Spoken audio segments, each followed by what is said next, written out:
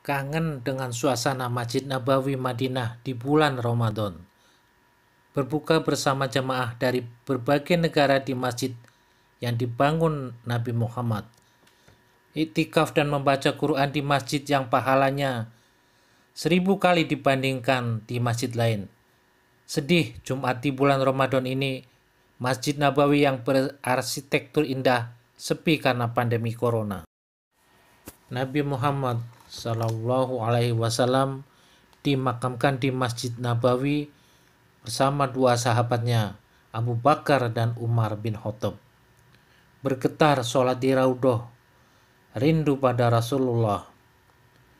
Alangkah indahnya hidup ini Andai dapat kutatap wajahmu, kan pasti mengalir air mataku karena pancaran ketenanganmu.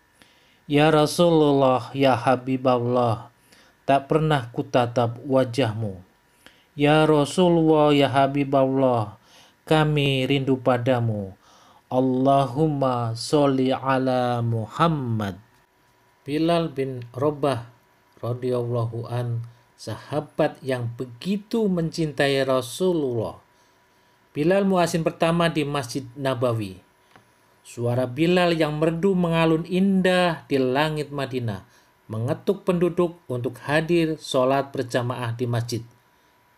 Seusai Nabi Muhammad wafat, Bilal menghadap Khalifah Abu Bakar untuk meminta izin meninggalkan Madinah dan pindah ke Syam. Pada zaman Khalifah Umar bin Khattab, Bilal bermimpi bertemu Nabi. Bilal pun pulang ke Madinah dan langsung ke makam Rasulullah dengan berurai air mata. Setelah berziarah, Bilal bertemu cucu Nabi, Hasan dan Husain, sambil memeluknya. Kami ingin mendengarkan azanmu, hai muazin Nabi, sebagaimana pada masa Rasulullah. Bilal pun naik ke menara. Sesaat kemudian terdengar suara azan khas Bilal. Puncaknya ketika sampai pada kalimat Asyhadu anna Muhammadar Rasulullah. Bilal tak sanggup melanjutkannya dan kembali menangis. Betapa rindu Bilal pada Rasulullah. Sesampainya di masjid orang-orang Madinah menangis bersama. Tangis penuh kerinduan, rasa kangen pada sang kekasih mulia Nabi Muhammad. Suara azan merdu masih terdengar hingga sekarang di Masjid Nabawi. Seperti azan subuh dari muazin Syekh Abdullah Al-Hunaini.